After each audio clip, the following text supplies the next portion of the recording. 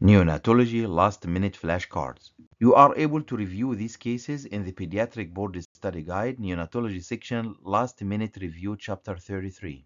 Newborn infant has just been delivered and the infant is apneic and has heart rate less than 100. What is the next best step?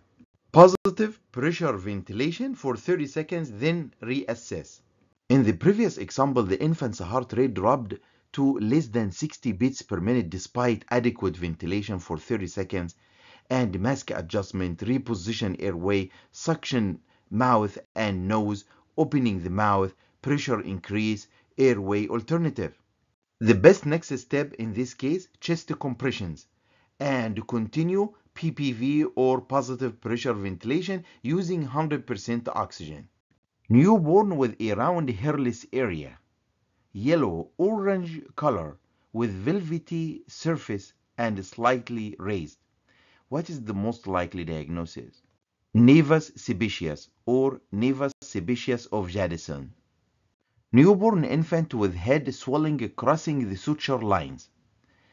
Delivery was assisted with use of vacuum.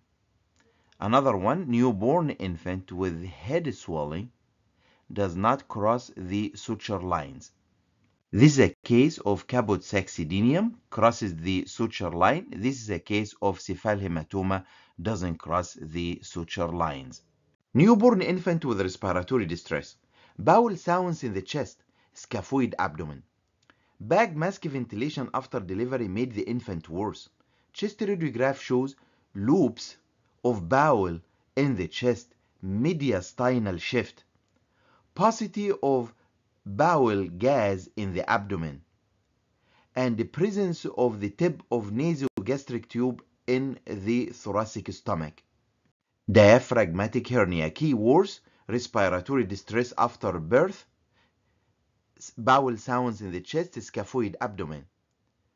Bag mask ventilation will make the infant worse. This is contraindicated.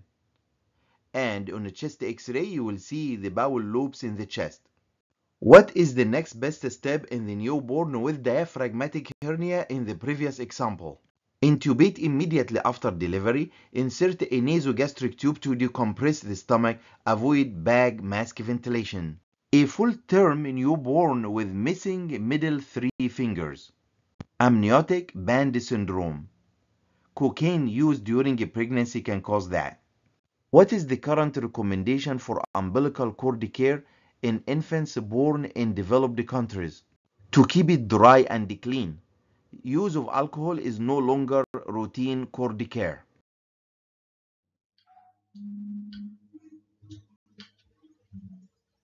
Having trouble or trying to pass the pediatric board exam? We have the definitive solution for you, presenting the Last Minute Review Series, a powerful tool for achieving success in pediatric board exams, crafted by Dr. Osama Naga a board-certified pediatrician by American Board of Pediatrics and the editor of the Pediatric Board Study Guide, a last-minute review. Dr. Naga breaks down the most critical subjects in this series.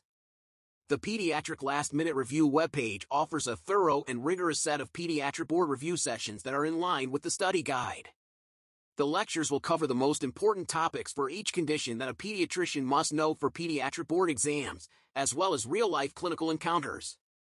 The inclusion of a clinical case scenario, accompanied by multiple choice questions, followed by the most probable answer and a comprehensive description of the issue, will ensure test readiness for each student.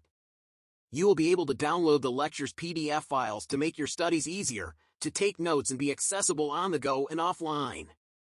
Based on the membership plan you choose, you will have unlimited access to the lectures for either one month, three months, six months, or one year.